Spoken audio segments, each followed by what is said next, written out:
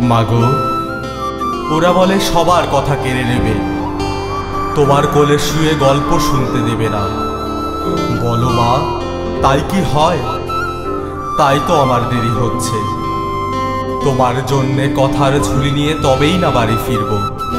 লক্ষ্মী মা, রাগ করো না, মাত্র তো আর কটা দিন।